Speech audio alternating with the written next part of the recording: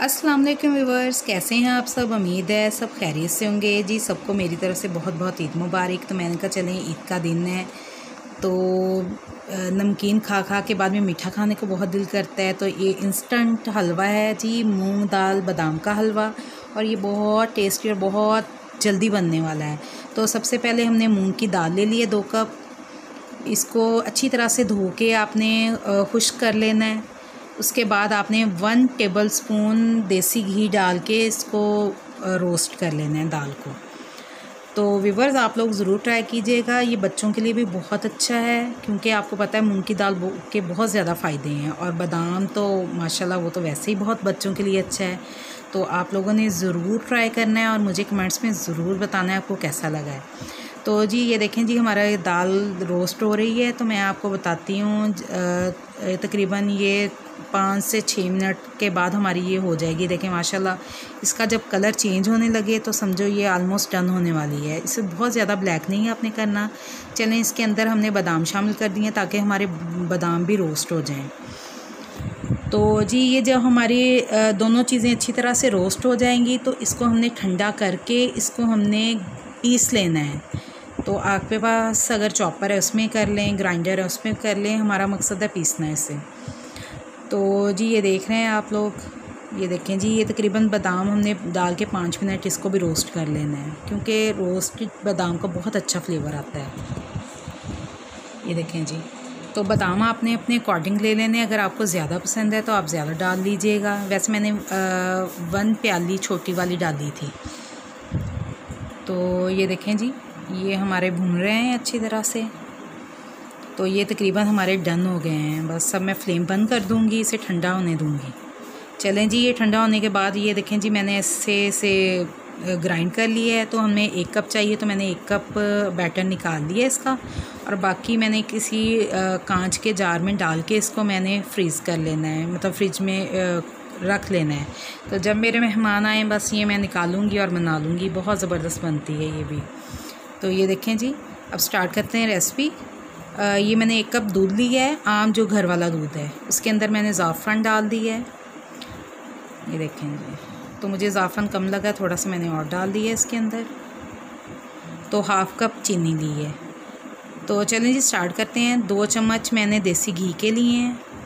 तो आप लोग भी कोशिश कीजिएगा देसी घी में बनाएँ, क्योंकि देसी घी से बहुत ज़बरदस्त फ्लेवर आता है इसका। चलें जी, इसमें हमने अपना जो पिसा हुआ बैटर है मूंग दाल बादाम के हलवे का वो हमने शामिल कर दिया इसके अंदर। तो अगर आपको ऑयल कम लगे तो आप ऑयल और भी यूज़ कर सकते हैं सॉरी देसी घी और भी यूज़ कर सकते हैं। कोई इशू नहीं है, ये मुझे थोड़ा सा कम लग रहा था देसी घी तो मैंने और थोड़ा सा डाल लिया है। तो ये देखें जी, माशाल्लाह इसकी कितनी खूबसूरत लुक आ रही है। तो इसको आपने बहुत ज़्यादा ब्राउन नहीं करना मतलब वो जो ब्लैकिश टून में नहीं लेके जाना। ये देखें जी, ज़बरदस्त सा ये देखें, हमारा ये भून रहा है। तो फ्लेम आपने बस नॉर्मल मीडियम कर लेनी है इसमें। तो ये देखें जी, ये देखें जी आलमोस्ट ये हमारा डन होने वाला है।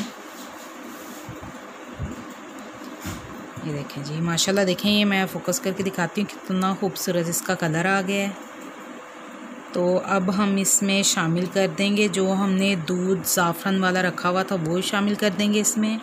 और फ्लेम को थोड़ा सा हम मीडियम कर देंगे, बहुत ज़्यादा तेज़ और ना बहुत ज़्यादा स्लो। तो ये देखें जी, इसको अच्छी तरह से हमने मिक्स कर लेना। जैसे जैसे आप मिक्स करेंगे तो इसकी देखें लुक और इसका स्ट्रक्चर चेंज हो जाएगा। ये देखें जी, कितना माशाल्लाह प्यारा इसका कलर और इसका ये देखें जी आ रहा है सारा कुछ। तो ये आपने ईद पे ज़रूर ट्राई करना है, अपने बच्चों को, बड़ों को, बुज़ुर्गों को, सबको बना के खिलाने हैं। तो ये देखें जी। ये ज़बरदस्त सा हमारा देखें जी बन रहा है। तो इस स्टेज में भी अगर आपको थोड़ा सा देसी घी कम लगे तो आप इसमें डाल सकते हैं, कोई इशू नहीं है। ये देखें जी। ये देखें जी, माशाल्लाह कितना अच्छा देखें इसका आ रहा है। और ये अगर आपने बैटर तैयार करके फ्रिज में रखा हो तो यकीन माने सिर्फ़ पाँच मिनट में आपका ज़बरदस्त सा बादाम, मूंग दाल का हलवा तैयार हो जाएगा। चलें जी, मुझे इसमें देसी घी कम लग रहा है। मैंने हाफ़ टेबल स्पून और डाल दिया है। ये देखें जी तो इसको अच्छी तरह से मिक्स कर लिया है। ये हमारा तकरीबन आलमोस्ट डन है। ये देखें। कितना खूबसूरत इसका कलर और कितनी अच्छी इसकी लुक आ गई है। ये देखें ज़बरदस्त किस्म का। तो जब ये थोड़ा सा हमें देखें जी, ये कितना ज़बरदस्त सा हमारा हो रहा है फ्राई। ये देखें जी, माशाल्लाह माशाल्लाह, ये देखें जी, कितना खूबसूरत इसका कलर हो गया है। तो अब हम इसमें शामिल कर देंगे हाफ़ कप चीनी का। तो विवर्स आप लोग चीनी अपने अकॉर्डिंग रख सकते हैं लेकिन मुझे ये बहुत ज़्यादा परफेक्ट लगी थी ना बहुत ज़्यादा तेज़ थी ना बहुत ज़्यादा कम थी। तो क्योंकि बहुत ज़्यादा मीठा भी अच्छा नहीं लगता है बहुत ज़्यादा मतलब नॉर्मल होनी चाहिए हर चीज़ तो वो ज़्यादा अच्छी लगती है। तो आप लोगों को अगर कम लगे तो आप अपने अकॉर्डिंग और चीनी ऐड कर सकते हैं। चलें जी इसको भी हमने तकरीबन दो से तीन मिनट अच्छी तरह से आ, मिक्स कर लें अच्छी तरह से इसको पकने दें। देखें